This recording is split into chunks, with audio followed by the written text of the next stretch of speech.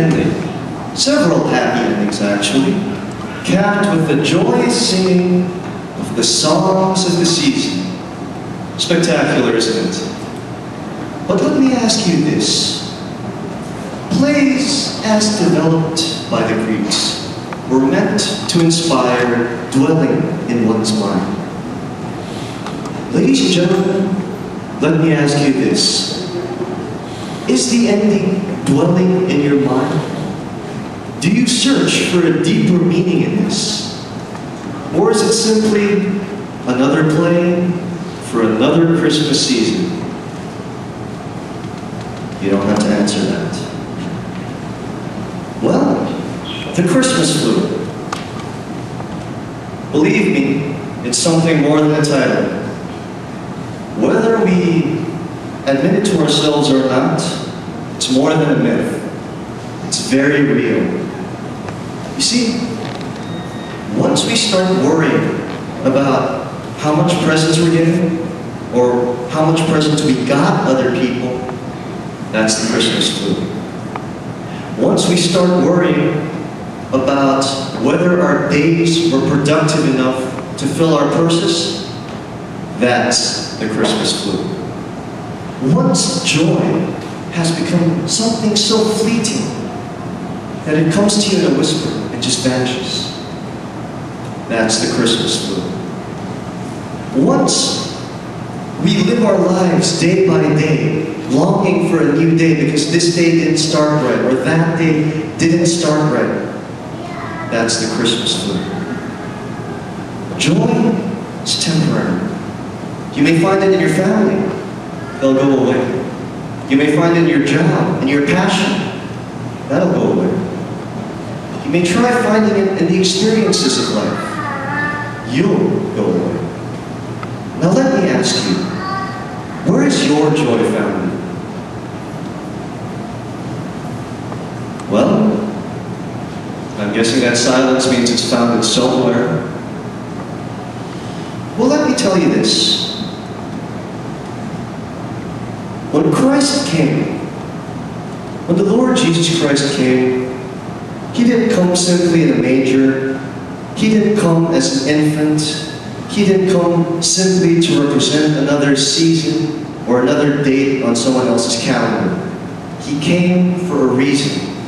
He came for a reason that you and I can never understand, but just simply admire and stare at in awe. Do you know what that reason is? Love. He came to us for love. He saw us. He saw that our joy was not founded on something permanent. He saw where we were headed, brothers and sisters. And he had a deep sadness in his heart. He wanted our joy to be founded in something eternal, something that would never fade, something that would last beyond eternity. Does your joy last beyond eternity? Do you have the Christmas tree? Well, I'm not here to bring you any bad news because our country, as it is, is in very bad shape, even though some people are optimistic about that. But I'm here to give you something different. I'm here to give you good news. I'm here to tell you that your joy will not always be rooted on the temporary. I'm here to tell you that your joy can be rooted in the eternal and that you can receive the gift that was given 2,000 years ago. There are hearts here that are cold. There are hearts here that are bitter. There are hearts here that are broken. I know. God knows.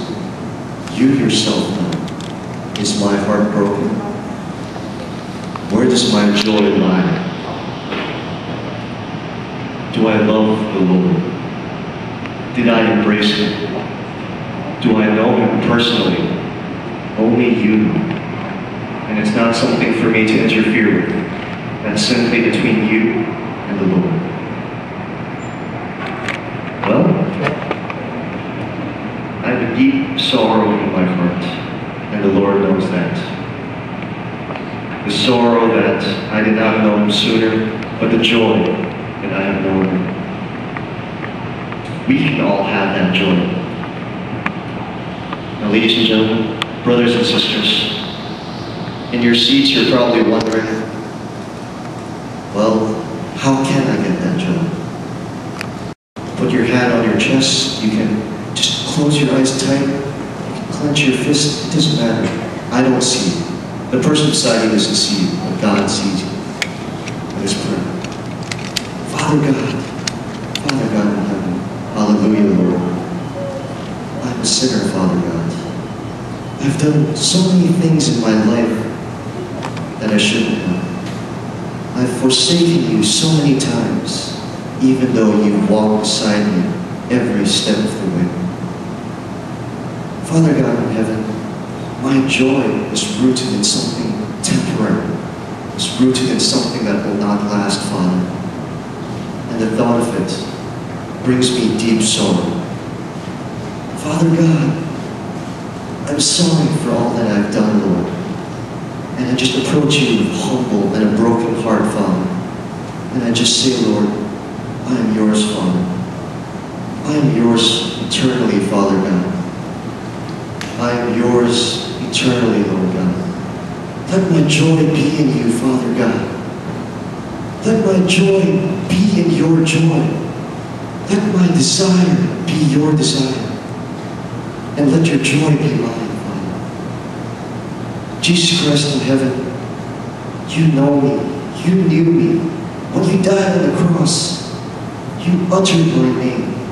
And you bowed your head, not in defeat, but in victory, that I might one day come to you and seek that joy. Father God, I commit myself to you this evening, Lord God. I come before you, Father God. Out of my own free will, Lord God, I come before you. Jesus Christ's holy name I pray. Amen.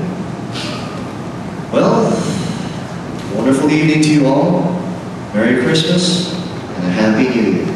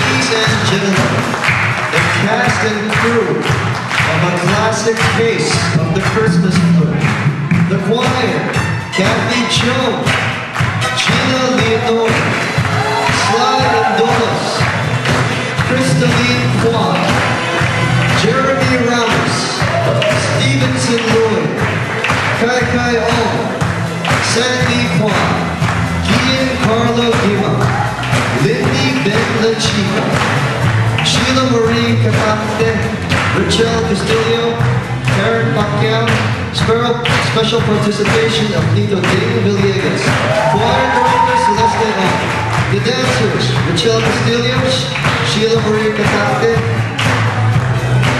Laura Jean, Mary Louise Ozaraga, Karen Pacquiao, Sustain and Rosas, Joseph Kim Taisio.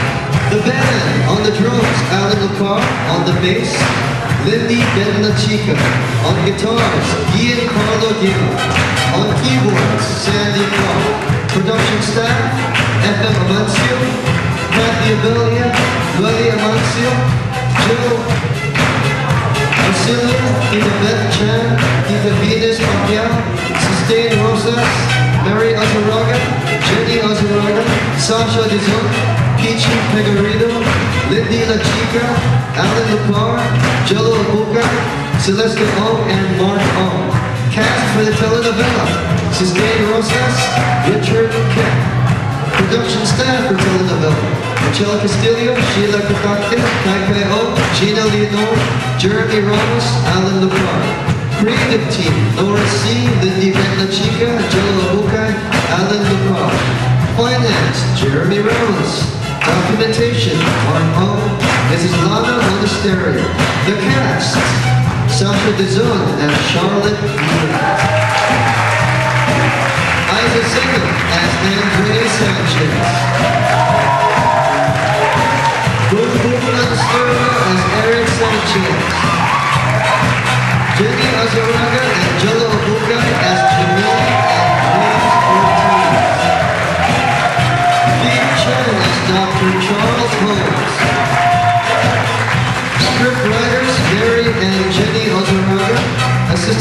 Director Maria Ernestine Denise Pegarino.